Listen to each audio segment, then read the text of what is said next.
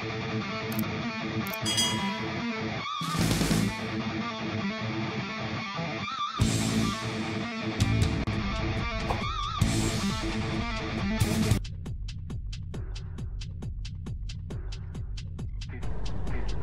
πυραυλικό χτύπημα που δέχτηκε το καταδρομικό Μόσκβα είναι αναφυσβήτα το θέμα των ημερών και επίσης αναλύεται από στρατιωτικούς αναλυτές. Η πύραυλη Νέπτουν που διαθέτει η Ουκρανία σαφώς και μπορούν να καταφέρουν ένα τέτοιο χτύπημα, ειδικότερα αφού το πλοίο δεν ήταν εν κινήσει, που σημαίνει ότι δεν άλλαζε το στίγμα του. Η ανικανότητα του πληρώματο είναι ένας σοβαρός παράγοντας αφού εάν επαληθευτεί πως οι Ουκρανοί απασχολούσαν την αεράμινα του πλοίου με drones, είναι ένα απίστευτο λάθος εάν όλη η εντεροπορική άμυνα του πλοίου στόχευε σε 2-3 Bayraktar.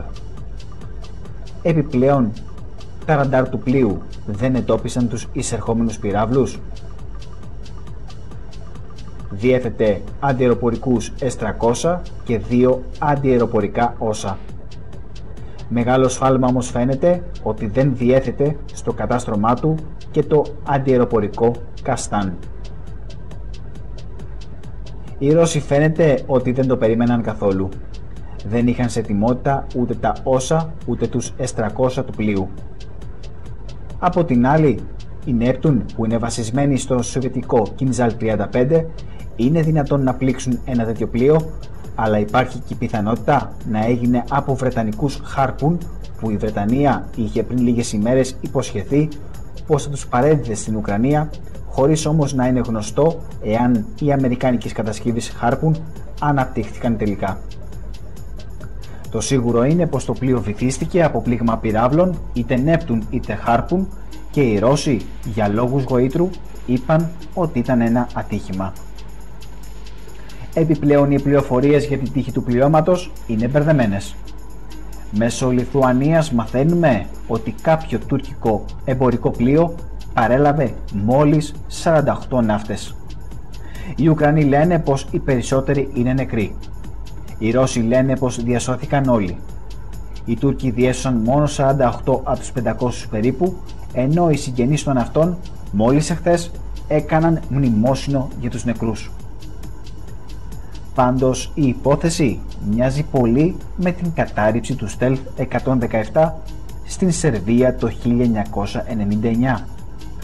Οι Αμερικανοί όπως και οι Ρώσοι θέλησαν να αποκρύψουν την αλήθεια. Οι Αμερικανοί είπαν ότι έπεσε από μηχανική βλάβη και παρόμοια είπαν οι Ρώσοι για το Μόσκβα. Η αλήθεια είναι ότι καταρρίφθηκε είτε από σερβικό αντιοπορικό τα R77 τα οποία ήταν ενισχυμένα με πολύ πιο δυνατό μοτέρ και πιο εξελιγμένο heat seeking sensor και ένα τέτοιο θα έσκασε στο F117 και θα λέγαμε απλά και λαϊκά πως το ξεκύλιασε. Είτε το F117 χτυπήθηκε από MiG-29 αφού μόλις δύο λεπτά πριν το F117 είχε αφήσει τις βόμβες του σε κάποιο στόχο στη Σερβία. Η αχίλιος φτέρνα των stealth είναι ότι όταν ανοίγουν τις καταπαχτές τους για την άφεση των βομβών χάνεται η stealth κάλυψή τους και εντοπίζονται από τα ραντάρ. Το F-117 ίσως χτυπήθηκε από αντιεροπορικό πύραυλο R-60 που εκτοξεύτηκε από MiG-29, κάτι που είναι το χειρότερο σενάριο για τους Αμερικανούς. Πάντως, όπως το καμάρι των Ρώσων τώρα είναι ξενοδοχείο για τα ψάρια της Μαύρης Θάλασσας, έτσι και τα Stealth 117 βγήκαν εκτός υπηρεσίας το 2008.